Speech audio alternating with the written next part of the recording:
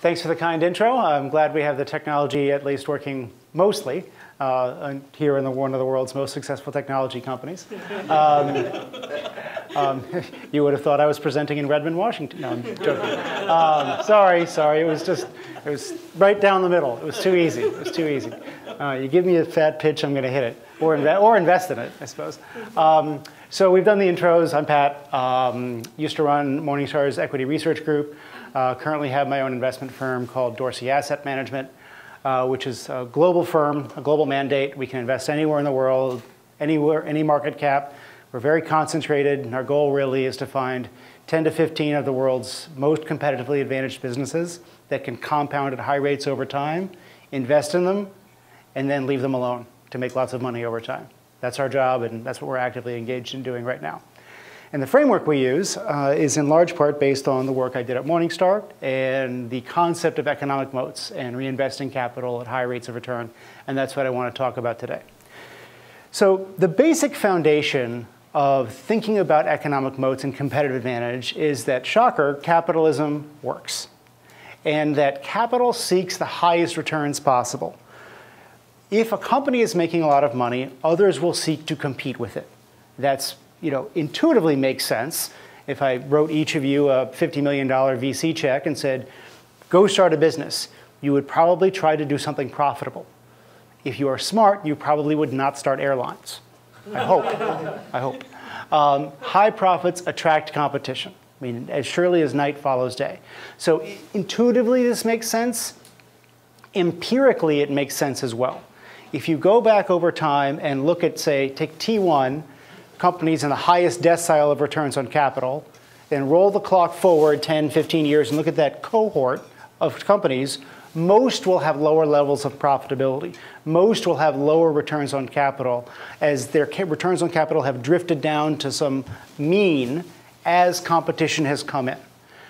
Of course, there is a minority of businesses where that's not the case. So, you know, most businesses you see high returns on capital decrease over time as competition comes in. However, there is a very small minority of businesses that enjoy many years of high returns on capital. Uh, they essentially beat the odds, they defy economic gravity. And the question simply becomes how?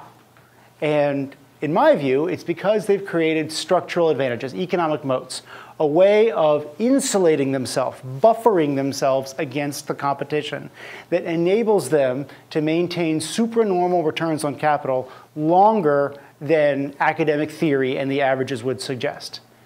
Because absent a moat, competition destroys excess returns. Period, end, full stop. Any highly profitable business that is easy to compete with, you will see that come down over time. Um, very common in the fashion industry, very common, say, in, you know, if you guys remember back, NVIDIA and what was the other big graphics company, chip company? You know, they would swap market shares like every six months. You know, what had the best chip? Oh, no, I've got the best chip. And there's no moat there. The moat was just, what do I got that's great today? And then you got a lot of smart engineers at the other place trying to make the next best thing. So the basics of moats are that they're structural and sustainable qualities that are inherent to the business. A moat is part and parcel of the business that you're looking at. It's not a hot product. We all probably remember the Krispy Kreme debacle. Uh, they taste good, but you know, sugar is not a moat. Um, Heelys, anybody remember Heelys? Remember those, those little shoes with a wheel in the heel? That was an $800 million company at one point. I, I kid you. I mean, yes. I, you know, I, I, am, as Dave Barry would say, I am not making this up. Um, people were valuing Heelys as if it had a moat. Aside from the massive product liability issues, uh, once basically schools started banning them. And so that's a problem if your target audience of 12 year olds can't buy your product anymore. Uh, and so that, that business went to hell pretty fast. Um, it's not just a cool piece of technology. We talked about NVIDIA and the graphics companies a moment ago. Remember Iomega? Remember that was going to be the thing. It's just a cool piece of technology. And frankly, any cool piece of technology can be replicated by other smart engineers, unless there's some switching cost, some lock-in effect that occurs, uh, that you know, an industry standard is created. But you know, Anything that one smart bunch of guys can develop, there's probably another smart bunch of guys somewhere else trying to make it even better. And of course, it's not the biggest market share. You will often hear companies talk about, oh, we're the biggest, we're going for market share. Let's think about GM, let's think about Compaq. It didn't work out so well. Big is not a moat. In fact, small is often a better moat than big. Moats generally manifest themselves in pricing power. A company that can't raise prices is unlikely to have a strong moat. And in fact, if you invest, this is a test often that businesses are losing competitive advantage. If you hear a company say, well, you know, you have a company who typically raises prices 2, 3, 4% every year. You know, they're able to kind of keep pricing power moving up. And then one year, suddenly they don't. They say, well, the economy's tough, or, you know, we want to take it easy on the customers this year. That's a load of crap. It means that something has changed in that industry. There's a competitor out there, there is some event going on that you may not be aware of that's causing them to lose that pricing power. Because if you can take price, you will take price as a business. And so if companies that lose that pricing power, that's usually the first sign that their moat is eroding. So what I want to do next is talk about the four kinds of moats that uh, I identified when we were at Morningstar and that I still think make sense today. The way we identified these was by going back about, this would have been the later, about 50 years of CompuStat data and it was pretty simple, just looking at businesses that had maintained returns on capital above cost of capital for 15 years plus. You know, it's not a huge data set, and then you basically say, what are the common characteristics of these businesses? What are the similarities of these businesses? And that's where we kind of teased out these four categories. And they've proven to work out pretty well. These are what we, we introduced the moat ratings at Morningstar in about 01. And so now we've had about 12, 15, 13 years. And the businesses we initially identified as being wide moat businesses that fell into these buckets have maintained higher returns on capital than their peers. So the, the, the empirical results seem to bear out the theory. Um, first kind of intangible asset is a brand. Um, and a brand is valuable if it either increases your willingness to pay or lowers your search costs. And this is really important. It's not just that it's well known. Because you think of like, say, Sony. We've all heard of Sony, right? Sony is often ranked as one of the 20 most valuable brands on the planet by the Business Week brand week thingy that, that happens every year. But let me just do a quick survey in this room. How many of you would pay 20% more for a Sony DVD player? One hand? Maybe, Any hands? Maybe 15 years ago. Maybe 15 years ago. That's exactly it. And like right now, you do see like the Sony Bravia TVs getting a little bit of a price premium over others because it's newer. DVDs were newer. But consumer electronics is fast cycle stuff, right? What's new today is old next week. And so the fact that Sony is well known and we've heard a lot about it does not contribute one bit to its competitive advantage. In fact, I would argue Sony could probably save a heck of a lot of money by not advertising, or advertising very little. You know, they, on Michigan Ave in Chicago, where I work, they have this super expensive flagship store with all kinds of cool stuff you can play with, and I'm sure they're paying God knows what in rent. Useless, because that brand doesn't change your behavior. By contrast, let's look at Tiffany. Tiffany will charge you 20% more for the exact same diamond that you can buy from Blue Nile or Zales or Helzberg or whoever you want. 20% is the value of that pale blue box. I can guarantee you the cardboard ain't that expensive. okay? But that's what, but you know, as the giver of a diamond, that you'll probably get a bigger smile off the recipient if it's in a Tiffany box than if it's not in a Tiffany box. So they can charge it. And so that brand has value, right? That brand increases your willingness to pay. And there's value there. You also have brands that lower search costs. So think about Coca-Cola or Wrigley Gum. You know, you don't pay a lot more for Coke versus Pepsi, but you know you like Coke, so you go there. You know, you like Heinz, so you grab it off the shelf because you don't want to sit there and compare ketchup prices for 20 minutes before buying the ketchup. It's three bucks. My kids like ketchup. Let's go get the ketchup. We, go through ketchup in vats at my house. I have twin seven year olds, and I think ketchup is like our fifth food group. It's ridiculous.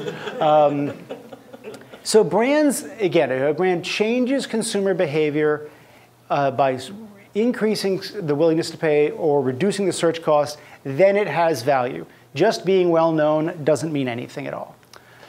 Patents, obviously a patent is a legal monopoly, but they are subject to expiration, challenge, and piracy. And so you want to be very careful of a business, you see this a lot in like specialty pharmaceuticals, where you have one asset, one drug driving all of your economic value, that patent gets challenged, you're dead. And last time I checked, patent lawyers drive really nice cars. And there's a reason for that, which is that patents are valuable to challenge. And so if they can be challenged, they will be challenged. So the, the, when you want to rely on patents as a moat when you have a portfolio of them that you know it's hard to invalidate one or the other. Think of Qualcomm, think of ARM Holdings, where there's this huge portfolio of patents. And then finally, licenses and approvals. So you have a license to do something that is not many people can do, or an approval, that is a pretty solid economic moat. Casinos, not easy to get a casino license. You have six of them in Macau. That's it, they ain't giving out anymore.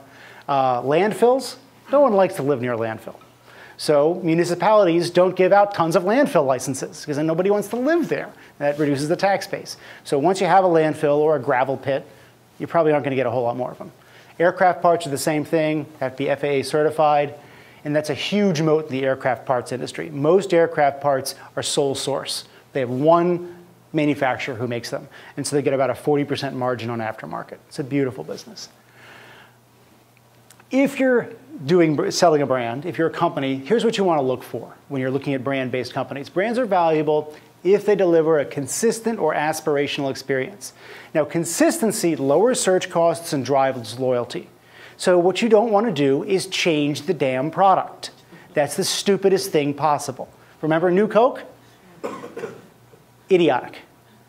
Schlitz.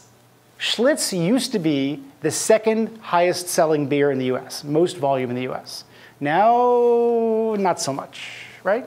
And the reason was they changed the way it was made. They changed the taste of Schlitz. Why would you do this? you know, recently I thought I mean, there was something like, like I think I was with the Heinz, or there was actually a ketchup that was going to lower the amount of sugar content. They were going to change the recipe. And you just go, stop. If people are buying this, why change it? Aspiration, by contrast, increases willingness to pay. So what you want to do is create scarcity and exclusivity. Very interesting example. Tiffany stores. Now, Tiffany is unique in that we think of it as a very expensive brand, but over 40% of their revenue comes from stuff that sells for under 200 bucks. Weird, right? You wouldn't think about that. And it's, it's brilliant. I mean, they're one of the only companies that they, they can hit volume and hit high price. Um, but here's how they do it. One of the ways they do it by maintaining the brand. You would think that the stuff that drives 40% of your sales, that'd be at the front of the store, right? You want people to get easy access to that. No, no, no, no, no. Go into a Tiffany store. The cheap stuff is at the back. So the expensive stuff, the stuff that costs more than a Tesla, that's sitting in the front of the store because that keeps the value of the brand up. That maintains an aura of exclusivity and scarcity. And so they keep the brand value up. Or Patek Philippe, a very expensive watch brand. The slogan, which I love, you don't own a Patek Philippe, you take care of it for the next generation. I mean, what a great image right? For those of us who can afford $50,000 watches. Um, but it maintains that scarcity and exclusivity value. And uh, again, you look at if you're looking at brand-based companies, aspirations differ. So you want to think about companies that can adapt. A great example is Jack Daniels, owned by Brown, Brown Forman. These are two different Jack Daniels ads. Um, I'm going to do the translations based on what I've been told. I don't speak Russian or Chinese. Um, so this says, happy birthday, Mr. Jack. And if you can look at, see it, it's the same image we have of Jack Daniels here. The frontier, the cowboy, old school, and in Russia that works because you, you know, a lot of Russians own dachas. They like to get out of the city and get back to kind of their sort of Slavic roots. Now compare that with this. Jack Daniels ad in China. You're in a very high-end bar, very urban, very smooth, very cool. And I mean, I've gotten this translated, but I may have anyone can any. I see a few folks here who might speak. You want to translate that for me? So it simply means confidence is not in your mouth, but from other people's eyes. Confidence is not in your out of your mouth, but comes from other people's eyes. In other words, confidence is how people see you, right? Totally different, right? Because imagine in China if you had this ad that basically was like, you should go back to the village you came from. That's going to sell a premium spirit, right? Uh-huh, uh, you know? So again, but here you see this adaptation. That's what you want to see in a brand-based company. Second kind of economic moat, switching costs. Very simple. Does the cost of switching to a competing product outweigh the benefits? What you want to do is look for companies that integrate with the company, customer's business. So the upfront costs of implementation get huge payback from renewals. Think about an Oracle database, for example. If you're P&G, if you're Citigroup and you're running on an Oracle database, ripping that out is virtually impossible. It's not impossible, but it's really, really, really, really hard. I mean, if, if, if you showed up today, I mean, if Google, for example, built an amazing database and showed up to P&G and said, we've got Google Base, and it's 15% faster and 20% cheaper than Oracle's best product. P&G would say, yes, and I will have to spend hundreds of millions of dollars and however many man hours ripping out what I have now, and my business will probably blow up when I do that. So the switching costs are very high. And so Oracle can raise price 2 to 3% every year. See this a lot with uh, enterprise software companies. You also see it with data processors, people that integrate tightly with the customer's business. You can also sell an ongoing service relationship. So think of um, elevators. Once you have an elevator in a building, it probably ain't coming out again. Um, and so you get elevator companies like Otis, which is part of United Technologies, uh, which is a Finnish company, Schindler, which is German. And their goal is to have a high, what's called attach rate to attach a service contract to the elevator. Because once that elevator is in there, it ain't coming out again. And so you get this long service relationship. Rolls-Royce. Rolls-Royce typically sells its jet engines on what's called power by the hour. They actually sell it, and then you pay for it based on how much you use it. You don't just pay for it up front and then someone else maintains it. So that's a way of increasing the switching cost. And then you can provide a product with a very high benefit to cost ratio. Uh, favorite example here is a company called Fastenal here in the US you know, if you have one bolt on your assembly line that goes down, and then you have a whole bunch of unionized guys standing around basically getting paid for not doing anything, you will pay a lot of money to get that bolt back on the line really quickly. And so that product doesn't have a very high economic cost in terms of how much you spend for the bolt, but has a huge benefit to your organization. Uh, Fuchs Petrolube, uh, or Lubrizol, which Berkshire bought a while back, same thing, lubricants. If you have a lubricant that can increase the uptime of a giant mining machine down in a hole by 10%. So you don't have to take it down for maintenance as often, you don't have to take it apart and lube everything, and you get more productivity out of it. And that lubricant costs even 20% more than the competing lubricant. It's such a tiny cost of the overall part of the overall cost of running that machine. Why not? So this high benefit cost ratio is really a cool thing to look for when you're looking for businesses with switching costs. You've got the network effect, which is simply providing a service that increases in value as the number of users expands. You can aggregate demand between fragmented parties. Think of distributors. Uh, Henry Schein is a dental distributor. So basically, most dentists are you know little owner operators, two, three, four, five dentists in a practice, and then they've got to buy stuff. They've got to buy those obnoxious cotton things that stick in your mouth and suck up the saliva and give you cotton mouth, literally. Um, you know, you've got to buy dental drills and all kinds of stuff. And basically, what they're doing is aggregating fragmented demand, fragmented supply, and they bring the two together and extract a lot of economic rents by doing that. Um, one thing to watch for here is that one reason the network effect works so well is the nonlinearity of nodes versus connections. So if you have a web and you have you know, the number of nodes in that web goes from one to two to three to four, the number of connections increases exponentially. So that is something that makes it very hard to replicate a network once the network gains scale uh, something that Googlers should be pretty familiar with, I think. Um, one thing you want to watch for, though, is radial versus interactive networks. So the interactive network is what I just described, the web, where each node interacts with the other. A radial network is less valuable. So this is a good lesson I learned at Morningstar when we looked at Western Union. So Western Union you know, sends a lot of, you know, helps people send money from place to place. And they talk about we have the most number of branches of any money transfer organization in the world, which is true. The problem is that no one is sending money from Bangladesh to Mexico City. They're sending money from Mexico City to Chicago, or from Mexico City to LA, or from Bangladesh to Chicago. We have a huge Bangladeshi community there. No one's sending money from Bangladesh to Mexico City or vice versa. So that route means nothing. So it's basically a series of channels, a series of spokes off different nodes that are easier for a competitor to pick off by underpricing service in that node. So radial networks are much, much less robust than interactive ones, we found. And then the final uh, type of moat, cost advantages. This is uh, you know, kind of, kind of self-explanatory. But the thing is, there's a couple of differences here that you should look for when you're looking at companies. A process-based advantage is basically inventing a cheaper way to do something that is hard to replicate quickly. Southwest did this, Dell did this, Ryanair did this. Inditex, which is, owns the Zara brand you may be familiar with, great example that you know, everyone, you know, they had you know, their, the clothes made in Sri Lanka, the clothes made in, in Bangladesh because it was really cheap. But of course, because of transport links, you have to basically make a fashion bet six months in advance.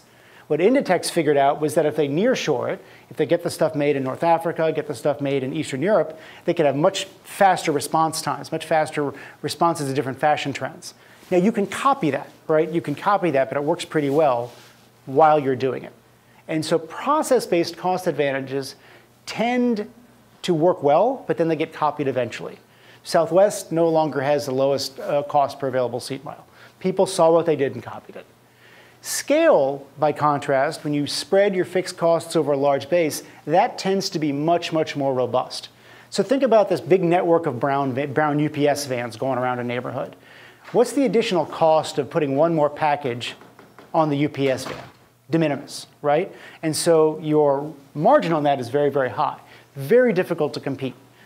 Good example, DHL, which is a wonderfully run business, has a very dense network in Europe they lost over a billion dollars trying to compete with UPS and FedEx in the ground market in the US. Couldn't do it, simply because they couldn't scale up. There weren't as many yellow vans as there were brown vans and blue and white vans. Um, Scale-based advantages, especially in distribution, are incredibly robust. And you can have a niche where you establish minimum efficient scale. There are some niches, some industries that can only profitably support one or two players. If another player comes in, spends the money to get in, returns come down so that nobody makes any money, so that new entrant never comes in the market. That can be a, you know, the businesses often can't grow very well because they're kind of trapped there, but they can be enormously profitable. So what about management? You notice I haven't said a word about management yet. There's a great quote from Warren Buffett that good jockeys will do well on good horses, but not on broken down nags. So this is a professional jockey on a goat. He is a very good manager. Sadly, he is on a bad vehicle called a goat. So if you enter this in a race, he's probably going to lose. By contrast, if you got me, and I don't even know how to ride a horse, as long as I don't fall off, I probably beat the goat. Because the horse is better suited for winning races than the goat. You're not going to get much milk out of it. The goat is better for that but it's very well suited for winning races. So the key here is that you want to get a good horse. You want to look for good horses. It's not that the jockey is irrelevant, it's that even the best jockey, if he's on a goat, isn't going to make you a lot of money or win many races. Managers matter in the context of the moat. And the way to think about this is very simple. The required level of managerial skill is inversely related to the quality of the business. The worse the business, the better the manager. The better the business, uh, as long as management isn't that stupid, you'll do fine. If it's a really bad business, you better have an awesome manager. This is Ryanair. O'Leary is an absolute genius. He's a jerk, and customers hate flying Ryanair, but he has created an amazing, amazing business. Ryanair is scale advantages to die for. By contrast, if you have a great business, Genius is not needed. You saw where this was going, I know. He's actually, what, what that actually means is here's what's happened to Microsoft's moat while I've been in charge.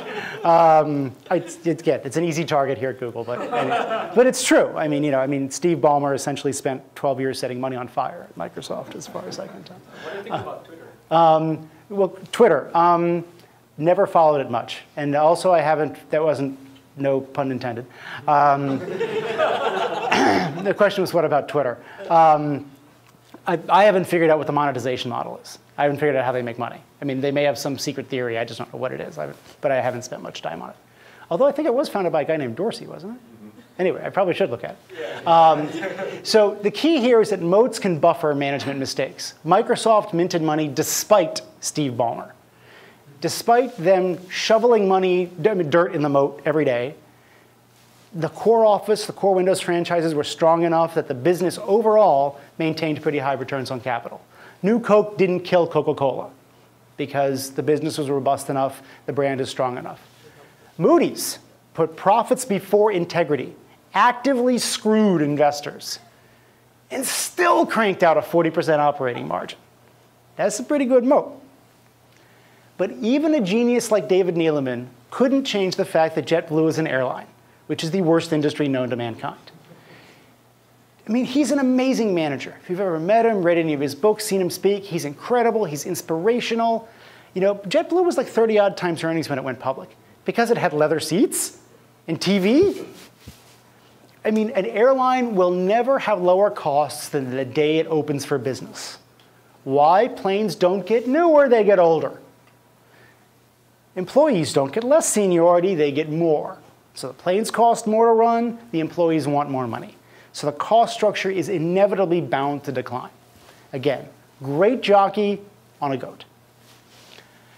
Good managers are constantly looking for ways to widen a company's moat. Think about Amazon's focus on the customer experience. It's not so much about scale, it's about the customer experience. Here's a great, uh, let me try this here. I've done try this at other talks around the world. How many of you have bought something off Amazon without checking the price elsewhere? Okay, that's like two thirds, three quarters of the hands. Isn't that an amazing statistic right there? I mean, how hard is it to click to another website? What's the caloric cost of moving your mouse? It's not high, right?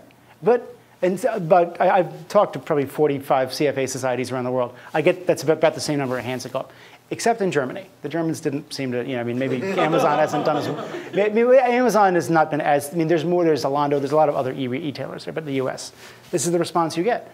And a lot of that, a lot of this is the customer experience, right? Trust matters more online than offline. And I give Amazon enormous credit for figuring this out early. That offline, in a regular physical store, I give you money, you give me a good, and we're finished. There's no trust involved. Online, I have to trust you send me what I ordered. I have to trust you don't steal my credit card number. I have to trust it arrives when you say it will. I have to trust you'll take it back if you say you will. There's a lot of trust involved. And that enables that enabled the ability to build a moat, build a brand in retailing, which is a really tough industry to do that in. Think about Costco's focus on using scale to lower costs. Costco gets bigger, cost savings go right back to the customer. That brings in more customers, which allows more cost savings that go right back to the customer. That's what drives their business. That's all they think about every day. Now, by contrast, bad managers invest capital outside a company's moat, which lowers overall returns on capital. This process is called deworsification or setting fire to large piles of cash. Okay? This is basically what you don't want to see a company doing. Example, Cisco moving into consumer markets, the Netgear acquisition, I think it was. What on earth was that? You had this gorgeous, sticky business in enterprise, and you start selling consumer electronics that any moron just buys off the shelf at Circuit City? I mean, I used my set-top box at home used to be a Cisco, and I would just curse that thing every time I looked at it. Because it was just the worst business to go into. I mean, just you know, fast product cycles, no competitive advantage um, the, the whole network-centric home. So what? Um, remember Garmin? Remember, remember the, anybody remember the Nuvi handset?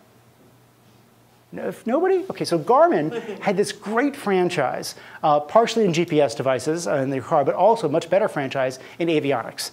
So that you know, your uh, business jets, regional jets often have Garmin as the GPS device in there. Uh, you own a plane, you really want to know where you are. You know, so that business is not, this was a very good sticky business. And so they say, they see, oh gosh, GPS is going from a product to a feature. That's basically just a feature of a smartphone. Oh, let's not relax to the inevitable and just get out of the business. Let's double down and go into handsets and compete with Ericsson and Nokia. Completely moronic. And so, again, you see investing outside the moat. You see a business do that out of weakness as opposed to out of strength when they're trying to like, maintain growth like Cisco did it's a horrible sign. Yep, question. How do you differentiate that from like being innovative, like Google, for example? Great question. No, I knew this was coming. I knew this was coming. Um, so the, the question is, how do you differentiate that from being innovative? Because Google's doing it out of strength, right? Google's not doing it to preserve growth or because their core business is dying. Google's doing it as a way of planting seeds for hopefully a great business in the future. And that means a subtle difference, but it's going, coming out, the key thing is it's coming out of strength. Google's core business isn't going down. It's when you see a company's core business either slowing or the competitive advantage eroding, and they try to basically invest outside that to bump up growth. So, you know, Cisco, one of the reasons they went into consumer electronics, Netgear, was to compensate for the fact that the enterprise market was slowing down. Or you can just say, hey guys, we'll grow at 6% and not 16 anymore. That would have been the more rational response.